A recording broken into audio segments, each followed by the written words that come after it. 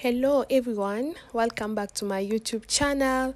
Before we start, I would like to say thank you to everyone who has subscribed and watched the videos on this channel. Thank you so much. For those of you who have not yet subscribed, please do not hesitate to do so. Click on the notification bell, like the videos, share the links, and leave us a comment or a suggestion. Thank you so much. So, today we are going to work on a pulley system which has four different parts the pulley, the pulley bracket, the pin, and the magnet. So, we are going to draw these parts separately, and after that, we are going to make an assembly of them in order for us to get the pulley system. Without wasting much of your time, let's get started. Thank you.